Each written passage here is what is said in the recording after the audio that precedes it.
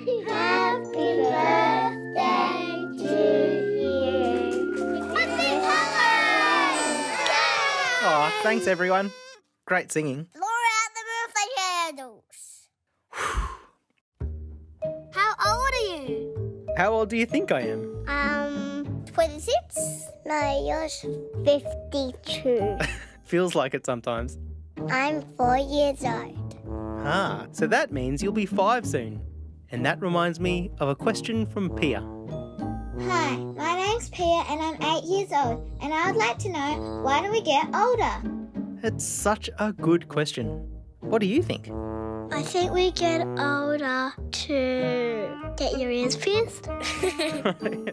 but what makes us grow up? Eating greens and being helpful. Aw, that's a nice idea. Inside our body gets older too.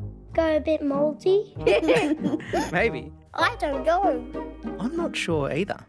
We can ask Dr. Lindsay Wu from the UNSW Laboratory of Aging Research.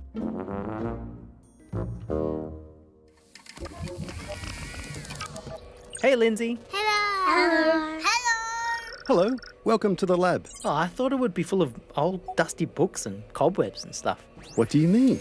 It's the lab of aging research. You know, like old stuff. No, it's all state of the art here. There's a lot of computers and microscopes to see little stuff.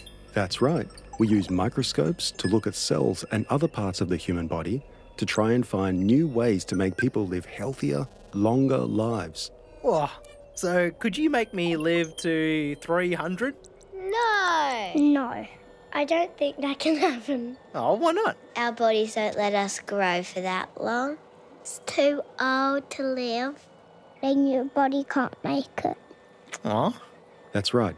Many people live right into their 80s or even their 90s. And some people can live to their 100th birthday and longer. The oldest person I've heard up to is basically maybe 102. That's a lot of birthday cake. so what happens between when we're born and our 100th birthday? Well, it's hard to see it all. It would take a long time, and a lot of stuff happens inside our bodies. So, how about we use our imaginations to get a better look? Yeah, yeah, of course. Yeah, let's go. Perfect. I want you to imagine you're microscopically small. So small, you're practically invisible. Here we go.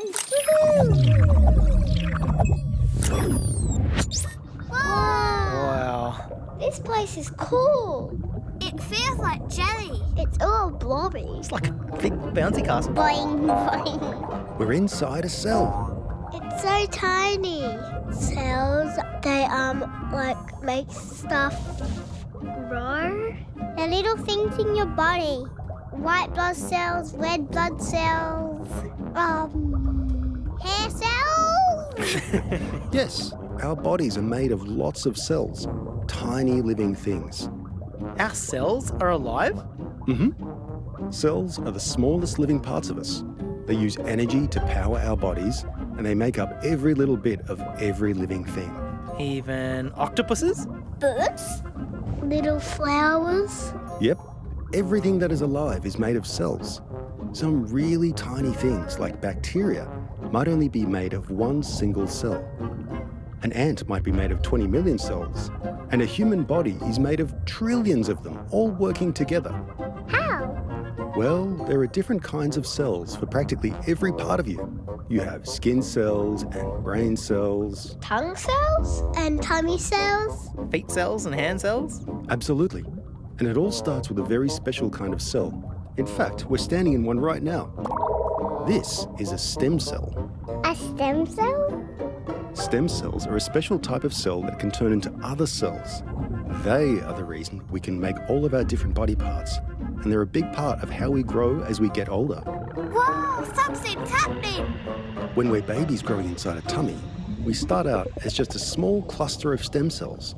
They don't have much shape at first, but they grow and change to become all the different cells that make up your body.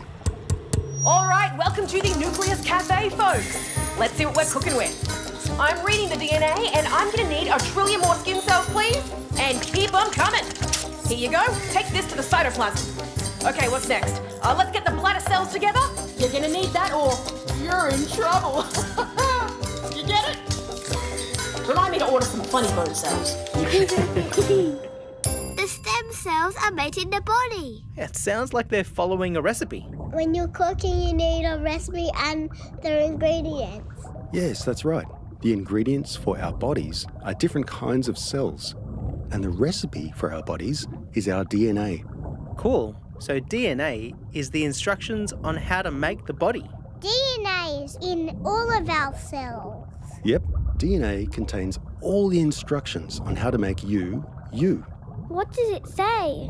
A lot of our DNA is the same as each other's because we're all basically the same, right? We all have hearts and lungs and skin and brains. We call our DNA our genetics, and how our bodies read our DNA is called our epigenetics. Ah, so when we're growing as babies, stem cells read our DNA recipes and turn into all the different kinds of cells that make our bodies. So we grow our different body parts. That's right. But we don't stay babies forever. What happens after? Once the stem cells have made all the heart and muscle and brain cells. We get older. And we keep growing. That's right. But, how? Well, let's see what happens when we wind the clock forward. By the time we're five years old, our bodies have changed a lot. I'm good at riding my bike. I can run, I can walk, I can whistle. I can um swim really really far. And I can play soccer and run really fast. We're nothing like the babies we used to be, and that's because our cells have changed too. Do bigger bodies mean you need bigger cells? Because this cell hasn't changed size. It's not our cells getting bigger that makes us grow, it's our bodies making more of them. With more stem cells? Kids do still have stem cells that their bodies use to grow. But most of your cells have the power to make copies of themselves. Your skin? It's great at making more skin cells. When we have a cut or a scrape, It will heal. then the new skin would grow. Yep, even down to the cells that make your bones. They can make lots more of themselves too. So when it's time to grow, Me again! We're not done cooking. Oh, we're gonna need more than a sprinkle of height this year. Her mum plays basketball. Let's get a rush order on those extra leg muscle cells. And where are my extra tendon cells? What's gonna hold all this together? It's not tape and glue, I can tell you that much. The body's growing. your body can make itself bigger and stronger by reading your DNA to make more cells where you need them and using the energy you get from a healthy diet and plenty of exercise.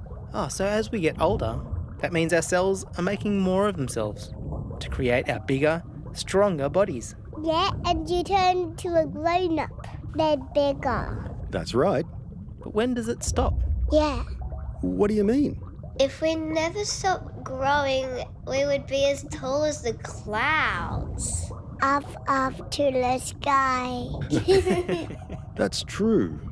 We don't keep growing, but we do keep getting older. What do you think the difference is? Growing is where you get taller, and getting older is where you change numbers of how old you are. To a teenager, and then to an adult, then a really old person. Let's push this body clock forward again and see. I'm 17 years old. and I'm 18. I definitely noticed I was growing taller. My voice was getting a little bit deeper. A collective change where everyone started to stink at the same time. And it was quite eye and nose opening for me. A lot happens in our bodies during our teen years. Do teenagers smell? It's a pretty special time between being a kid and an adult. We can skip ahead for now. You'll find out more about those teen years later. For much of our lives, from when we're babies right through to when we're young adults, our bodies are growing. Our different cells make more of themselves, and we still use stem cells to make even more new stuff as our bodies need it. Every year, our bodies get older, but we do eventually stop growing. Then we're grown ups. Yeah, I, I don't think I've been growing for a while now. Not getting taller or growing any new teeth. But my body is still changing. That's right. Our bodies do keep changing right through our whole lives. Is our DNA changing?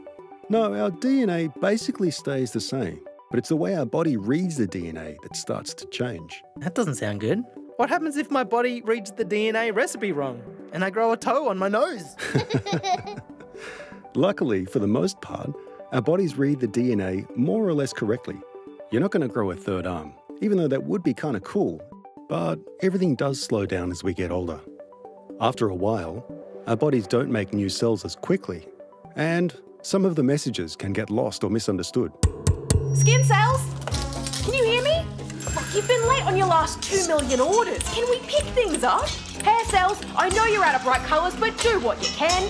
Hello? Is this thing on? Hello? Oh, it's not plugged in. Is that bad? It's just what happens as we get older. I'm 82 years old. I'm 87. And I'm 88 and 10 months. Getting slower a little. Uh, very slow. but apart from that, I think it's great. I'm enjoying myself. I don't run anywhere anymore. Couldn't run very much as a child either, but never mind, I'm running less. My skin is much more papery, especially on my arms and hands. Yes, my, my hair changed all right. It's uh, quite a funny silvery colour now. yeah, my hair's getting a little grey too. It's just a normal part of aging. Our skin gets wrinkly because we don't make as many new skin cells as we did when we were younger, and our hair turns grey because our hair cells don't make the colours they used to. We often get smaller in old age too, because we stop making as many muscle cells. Ah, thanks for coming to the Nucleus Cafe. I think we made something really special here. Brain cells, I'm looking at you. Thanks for sticking with us for the long haul. Liver cells, you never quit. Time for a rest, hey?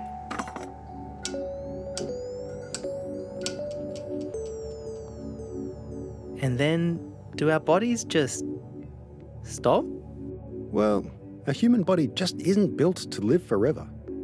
Parts of our bodies will stay with us from the moment we're born until the day we die. Some cells in our brains and eyes live as long as we do. Other parts of us grow and die very quickly, like hair and skin.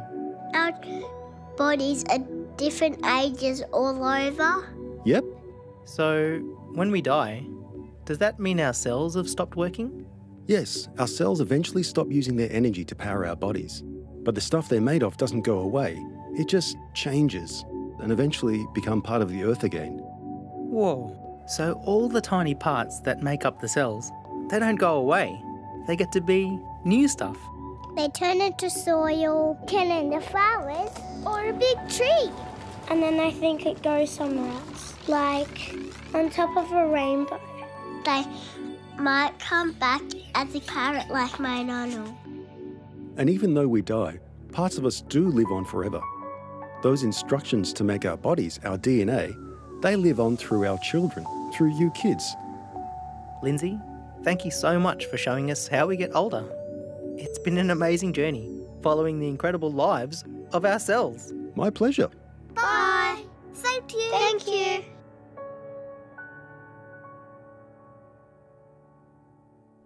So, Pia, we start to get older from the moment our first stem cells begin to create new cells. Skin cells, muscle cells, brain cells.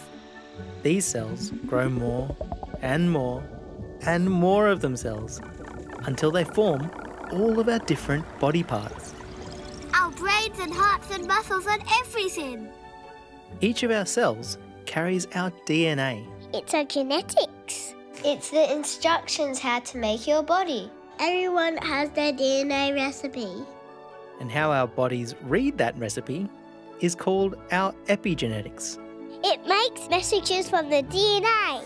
Can I get a million more skin cells and keep those freckles coming?